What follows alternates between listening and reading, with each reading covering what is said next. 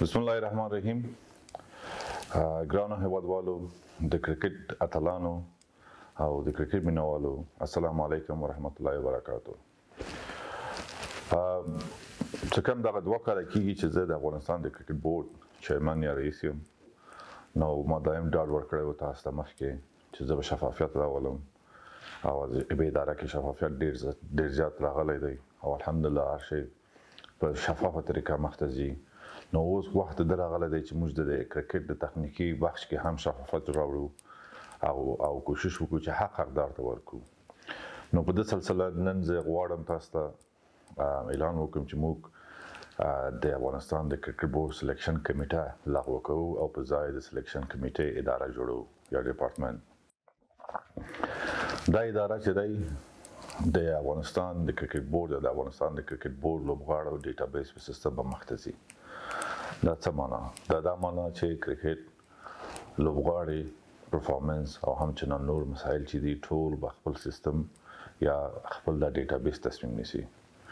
نور بدلدنه انسان تصمیم نه نیسي د سلیکشن په وخت کې بلکې سیستم تصمیم نیسي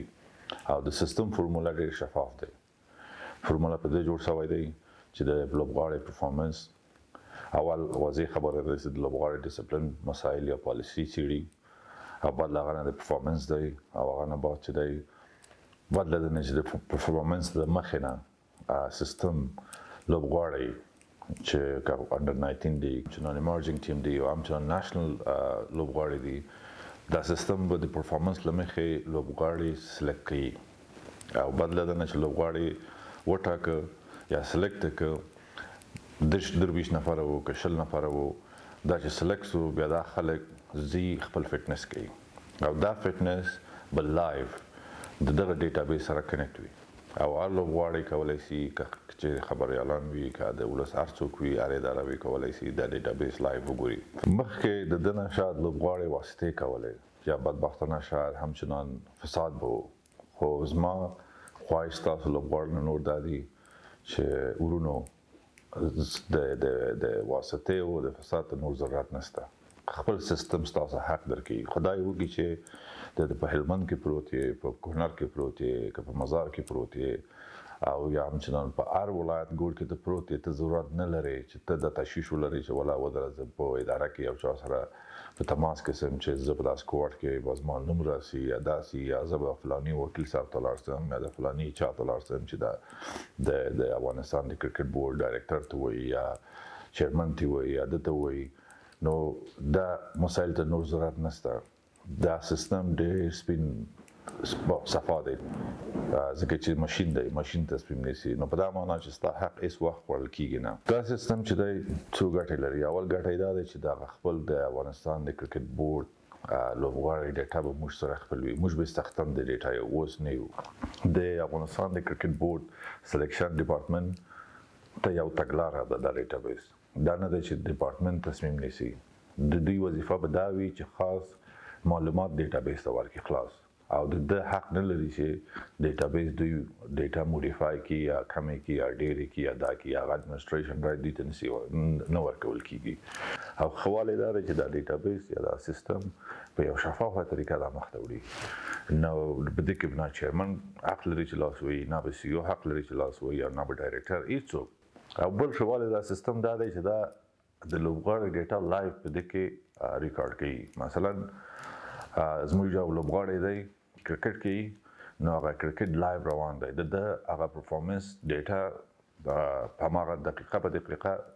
اپډیټ کیږي په دغه سیستم باندې نو همچنان هر لوبغاړی کولی شي چې د افغانستان د کرکټ بورډ سلیکشن ډپارټمنټ ته راسي او سلیکشن ډپارټمنټ وظیفه دا وي چې د دوی پرفورمنس ورته پرنټ کړي او په لاس یې ورکړي دا ډیټابیس چه ما مخکی تاسو ته یاده که د ټولو لوبغاړو ډیټا په کی ډومسټیک دی که نشنل ټیم پلیئرز دی دا ټول فلټر کیږی جوړیږی منظم توګه همداسی مخته روان دی. له کوم وخت نه چی د افغانستان د کرکټ بورډ اداری ته زه راغلی یم سلیکشن یو ډیر مهمه یا ډیر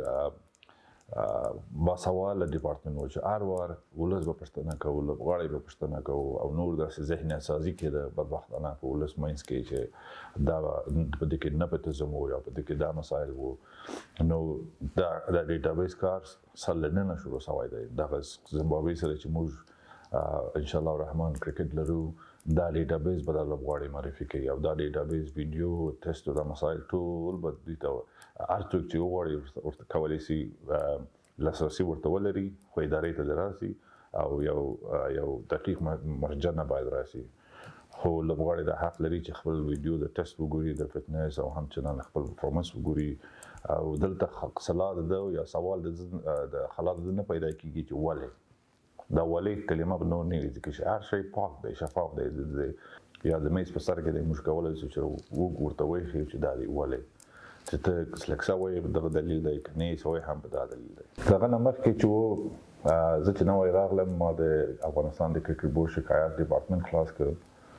چې ډاکټر صاحب په راس کې دی نو د شکایت ډیپارټمنټ خاص همدا لپاره وو چې موږ د لوبغاړو او د نورو خلکو مشکلات واورو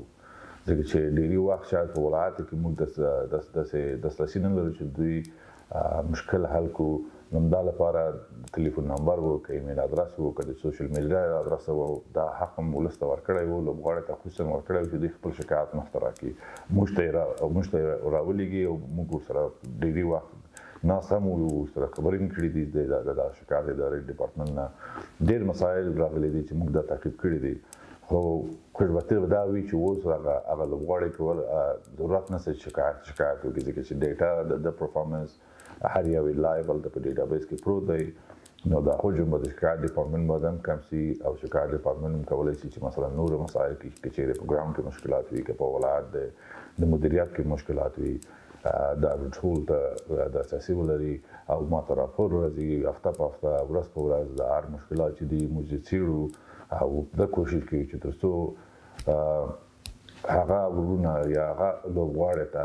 مشکل یا حق ورسیږي چې هغه بیچاره مظلوم دي او ډیر ظرشت د کرکټ لري او توانایي یې لري خو بدبختانه دا دده یو یو نظریه په دا مملکت کې مخکې جوړ شوی و چې حتمن باید واسطه ولري که چیرې غواړې مخته راشې نو اوس مسله د واسطه ختم دی وروره ستاسو حق په سیستم کې پروت دی ستا حق به سیستم تاته درکوي نه به زه درکوم نه به واسطې ورکوي نه به دا مسایل ته به ضرورت وي نور نو په اخر کې بیا د ټولو نه مننه کوم خصوصا د آی ټي ډپارټمنټ نه چې دا ډیټابیس باندې ډېر زحمت وایسته ډېر کار یې وکړو او همچنان د نورو خويندو ورونو چې په اداره کې ډېر